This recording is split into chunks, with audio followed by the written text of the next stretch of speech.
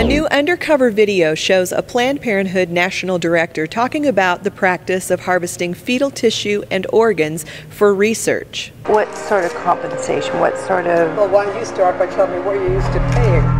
Mary Gatter is president of Planned Parenthood's Medical Directors Council. She can be seen haggling about specimens for about eight minutes of video.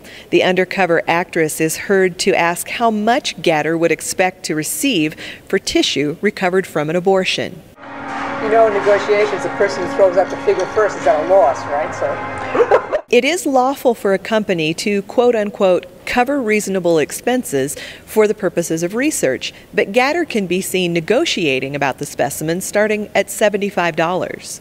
Don't lowball it. Okay. Tell me what you really. $75 a specimen. And are we agreed that $100 would keep you happy? Well, let me, let me agree to find out from other yeah. affiliates yes. in California what they're getting. And mm-hmm. if they're getting substantially more, then we can discuss it again. I want a Lamborghini. I said I want a Lamborghini. Congress and several states are already planning to investigate. You know, Citizen Link's been working hard with our alliance of nearly 40 state based family policy groups to change the environment in state legislatures.